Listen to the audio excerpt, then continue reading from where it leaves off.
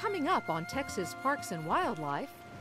Jugging, you're increasing your odds a whole lot because you can put up to five hooks on a jug, and depending on how many people you have out there, you could have hundreds of hooks working the area. A nice little blue cat. When I first came down, I really thought he had brought me to the end of the world. I just didn't really understand it, and I think it's a beauty that grows on you. The island is our primitive campsite. Over there, there are 12 sites that have no water or electricity.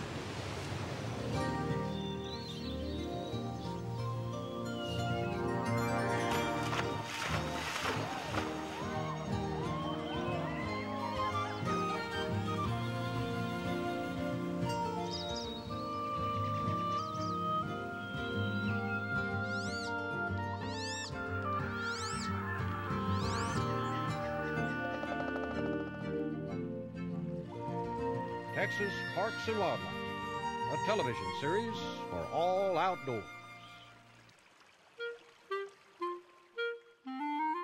This series is funded in part by a grant from the Wildlife and Sport Fish Restoration Program.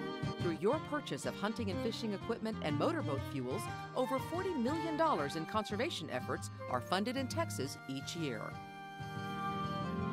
Additional funding provided by Ram Trucks. Guts, glory, Ram.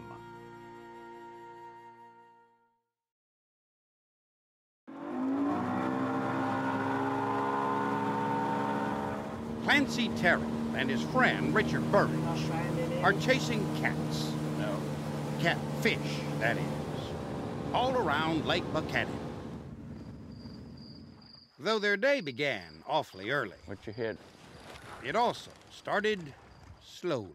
Come on, fish. There has been a bite or two. Oh, there he is. And there has been some good natured ribbing. He jerked it like a girl. No. but so far, there haven't been many catfish. He's talking to you. Nice little blues. See how pretty they are? It's the big ones that Clancy is known for catching. I guide for trophy catfish. In order to attract these fish, anchors away, some 40 feet down, Clancy and Richard serve up a variety of smelly baits. My wife says I can tell when you've been catfishing. right, there's one. The fresh shad seems more attractive to another fish today. Oh, it's a striper. Clancy guides for striped bass as well. That's good, Richard. That's about a three to four year striper. If you can get the stripers out of your way, you'd probably catch some catfish.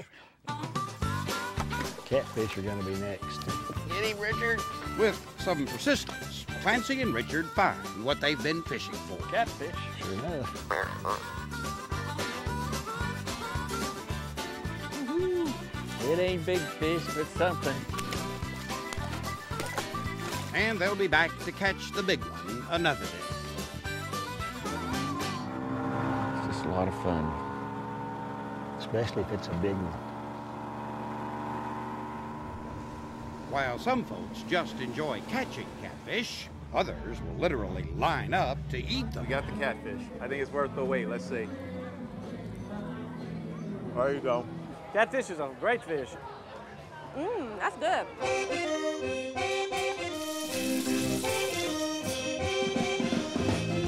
One weekend each fall, the Conroe Cajun Catfish Festival turns Conroe, just north of Houston, into a capital of Zydeco music and all things catfish. It's about everybody coming downtown and enjoying the catfish and all the food vendors and all the great Cajun music uh, and everybody having a good time. That's myself. Right now, well, you know, catfish is a year-round thing.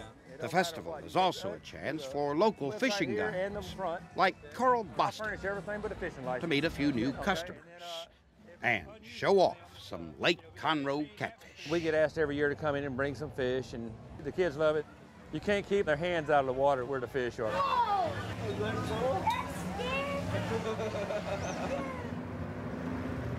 Soon after the festival, Carl is back on Lake Conroe. I think it's the best catfish lake in the state. Not with clients, but with friends. That's what I do on my days off. The two boats are out for an evening of jug fishing. Jugging, you're increasing your odds a whole lot because you can put up to five hooks on a jug, and depending on how many people you have out there, you could have hundreds of hooks working the area. Fish it. The GPS is really nice.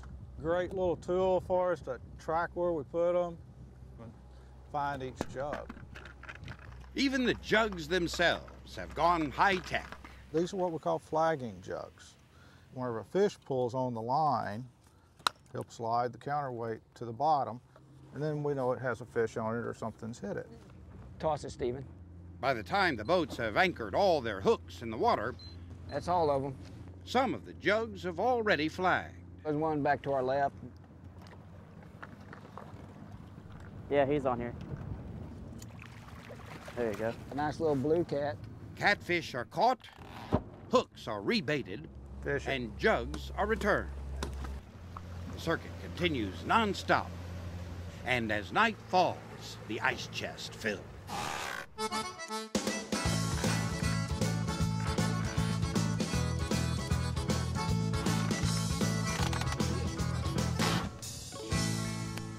you want to make a fish haul, jugging's the way of doing it. Jugging is also a good way to find the big cats. I think we have a decent fish coming up here. Pulling in a large catfish can require a little bit of teamwork. We got about a 20 pounder coming up. That's it.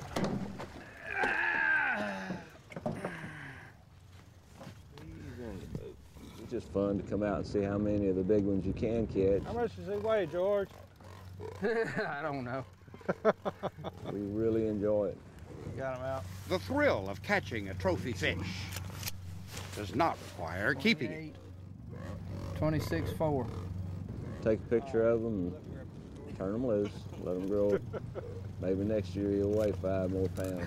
So Morris, Wayne, and George have their own policy regarding these big and most productive fish. They keep only a photo, Okay. and they keep a good story, too. Yeah, they want to twist when they get in that water. Well, that's a good start for the evening. Let's see what we got. Increasing interest in catching catfish in large numbers or sizes has also increased the need for studying catfish.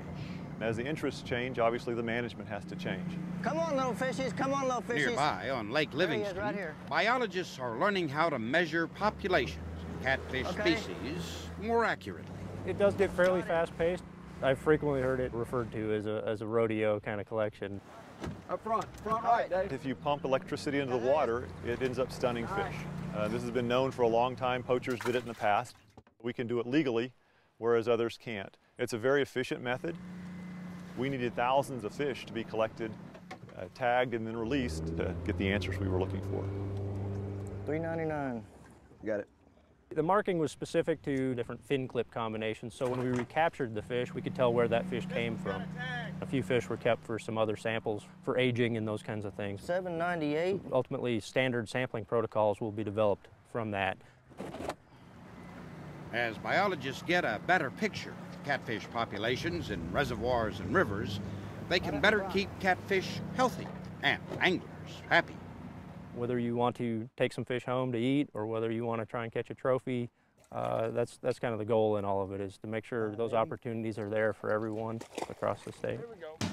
Mine's big. I don't know, mine's bigger. That means Carl and his friends should always be able to go fishing for cats. We got a cat fight going on. If I can be on this water, I'm going to be on this water, whether it's a job or not. I'm going to be fishing. Ooh, boy. You got another nice one. Whether on a hook, A little bit of a workout. on the menu, or on their own, there is just something fun about catfish. I've always been a catfisherman. You know, they say we're a breed of our own, and everybody has their favorites on this lake that we make. We're happy about all this. 35? 35. That's a pretty. Okay. I love it.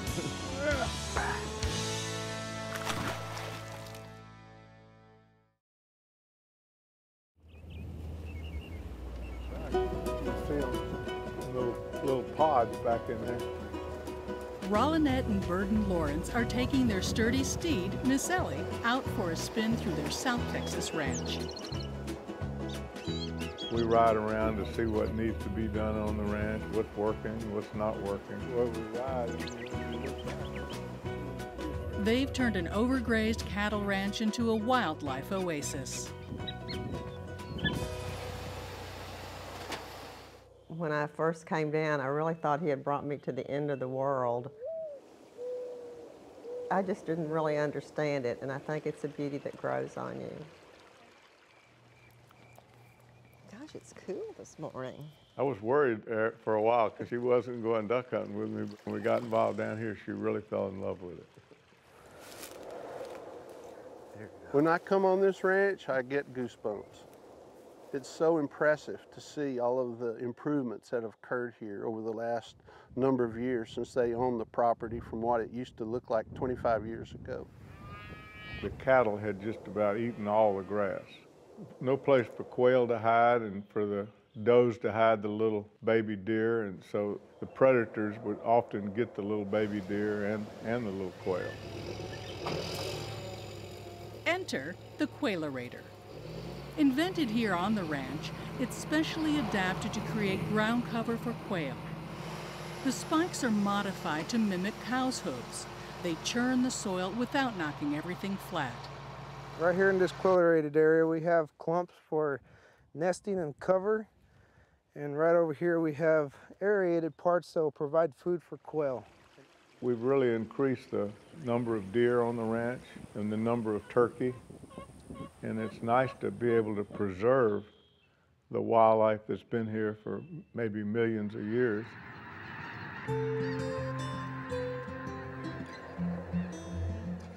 South Texas will promise you less and deliver you more than any place I know of on earth.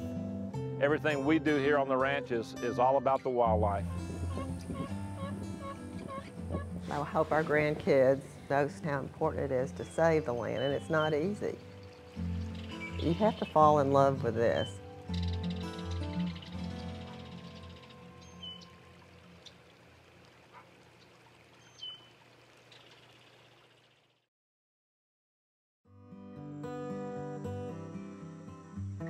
In East Texas, you got trees everywhere. It's quite peaceful to be out in the woods. It's another way to commune and to get back to nature. That you can get out and actually hear what's happening.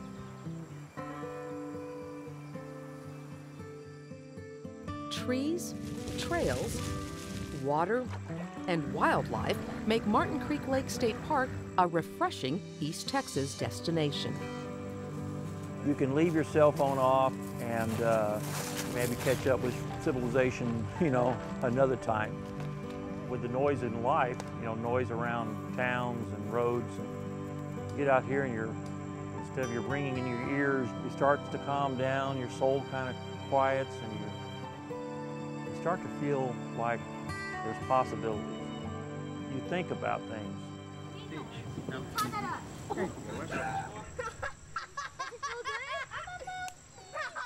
Ah, well, it's safe, clean fun. It's uh, don't really have to worry much. Uh, there's no uh, no worries.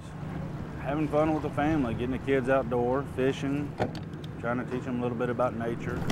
The lake's good. A lot of good fishing out there. Yeah, there's another one down here, right here. Catfish, bass, crappie, brim. Uh, but the vast majority of the people are coming out here for bass and catfish. It's good fishing for catfish.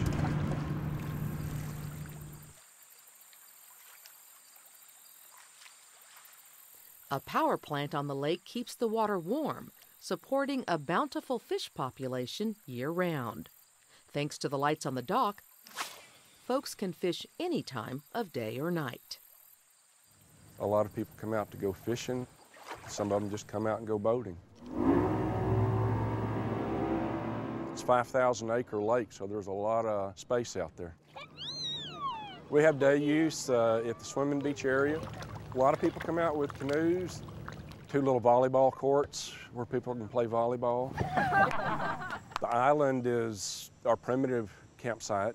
Over there, there are 12 sites that have no water or electricity. The two bridges, we'll cross the two bridges. There's a trail around the island that a lot of people go on. A lot of people come here for hike and bike trails. The trail is very clear. You follow it easily. This time of the year, there's a lot of leaves on the trail. Uh, real pretty. We're right now in the process of fall actually catching up with us. So within a couple of weeks, we'll have a lot of good color out here. We have anything that you would want to observe out here from foxes to squirrels, bobcats, deer, a lot of deer out here. There's a huge draw to returning again to a peaceful place that makes you feel better about yourself. You get peace here. You can get the calmness. It's kind of got a cozy feel to it here in East Texas. It's, uh, I guess the word I'm looking for just be a home away from home, really.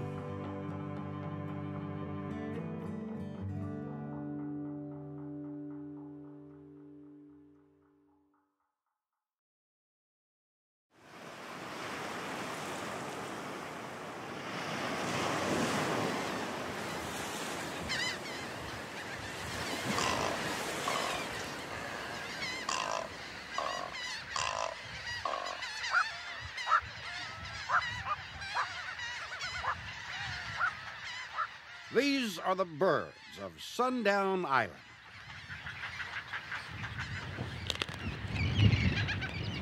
And this is Chester Smith, a watcher of sorts for the birds that nest here.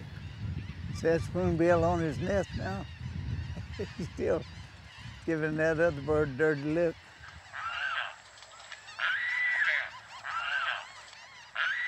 This man-made island in Matagorda Bay is managed by the National Audubon Society. And it's Chester's job to keep an eye on the 18 species of birds that nest here. I have a lot of birds that are beautiful when they're in their mating colors. So one of my favorite is reddish egret. Reddish egret is on the threatened list. Look at the plumes on that great egret. Isn't that beautiful? Those two there, look there. And they're the most beautiful bird on the island, I think. It's March. Spring is here, and the nesting season is underway.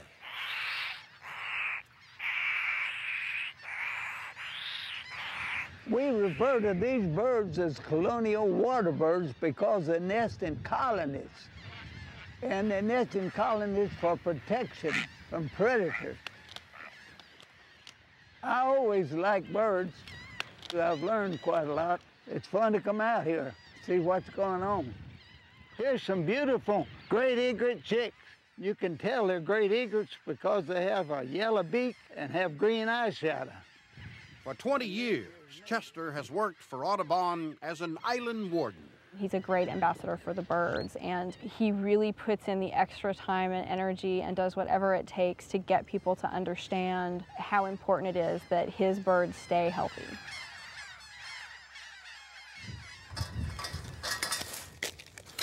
Today, we have a list of honeydews.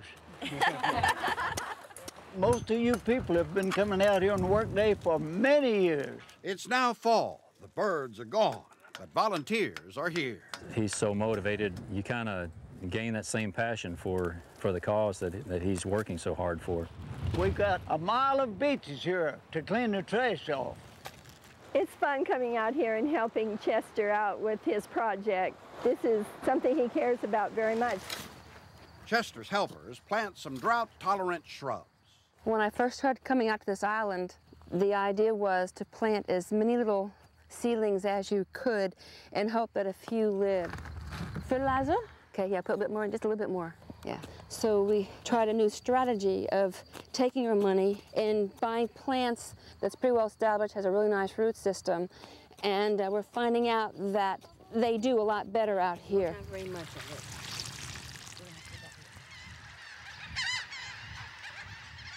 It's amazing. You come out here six months from now, you won't believe it. They're huge. The birds actually will rest on top of them.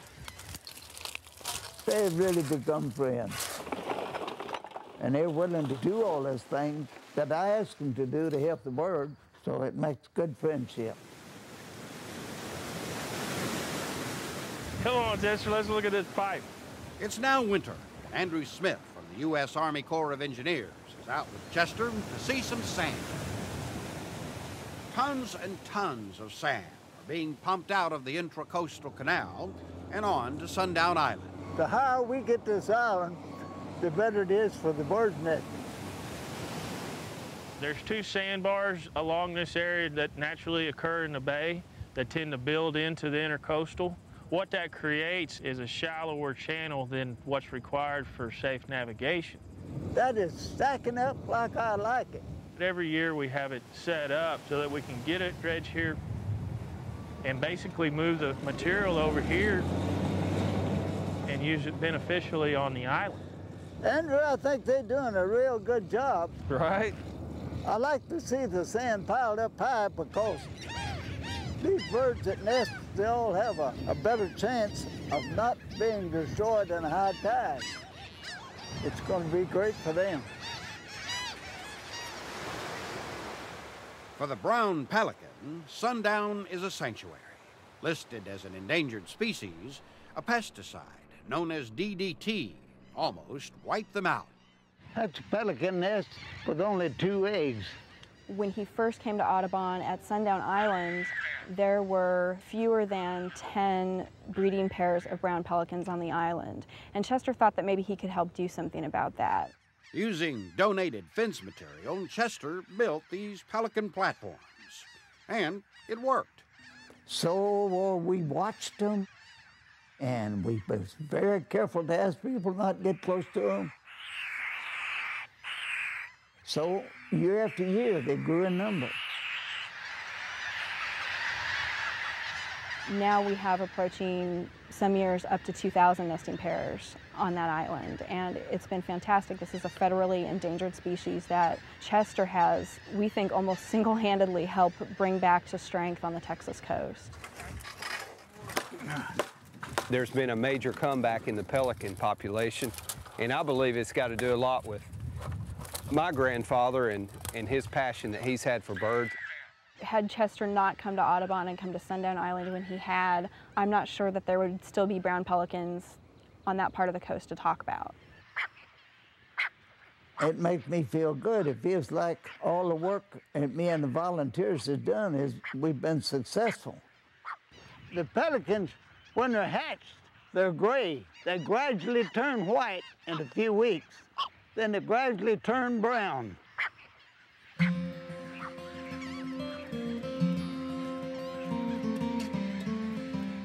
Spring is here once again. And as the birds arrive at sundown for another nesting season, Audubon volunteers and Chester are back as well.